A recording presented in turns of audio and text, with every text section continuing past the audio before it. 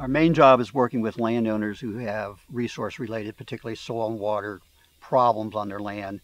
We go meet with them, look at the problem, and then from the different kind of practices, conservation practices we have, we make suggestions, recommendations, and then they choose which one will work best for their operation.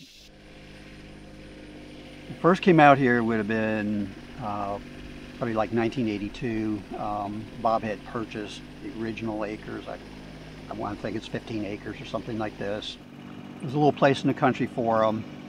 And the first thing that I worked with him on was actually the pond that's kind of behind us here. And then over time, um, you know, Bob was interested in trying to do, you know, have it for fishing and that. So gave him information of some of the fish hatcheries where he could um, get some stock to put in there, which he has done. And then just over the time of ma maintaining the pond, things like that. Like uh, if you look at the pond now, you see it's all grass, which that's the way we like to see it and recommend it. Then as he expanded his operation and started getting into more of the farming business, uh, some of the land just a little bit over that way, I think was a, the next purchase that he had. And that had been previously cropland. And he wanted to do cattle and things like that. So we worked with him on converting that cropland to permanent uh, pasture.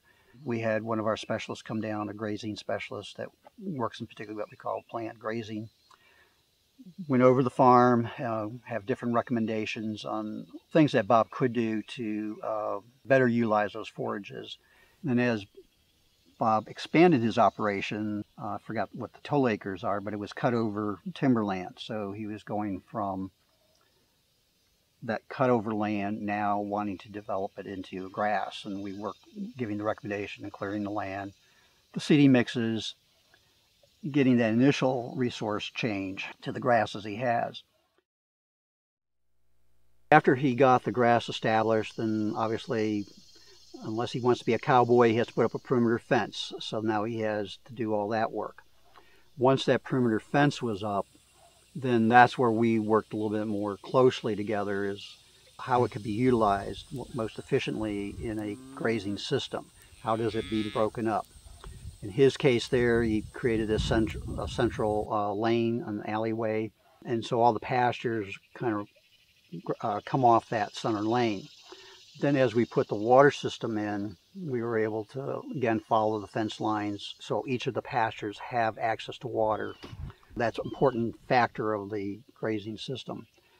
Deer Track Farm was recently recognized for their conservation efforts. This is done through a program through the Department of Conservation and Recreation, which is actually handled through the local conservation district. In this case, it's Tri-County City Soil Conservation District.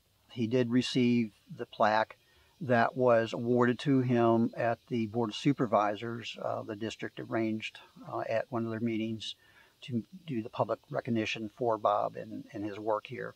And then they are given that sign that you've seen on the side of the barn to post hopefully somewhere prominently where people can see that they have been uh, selected as someone who's a good example of conservation. From his pasture management, why he was selected is, uh, first of all, um, excluding the animals from protecting the surface waters by excluding them from surface waters, uh, developing this pasture system.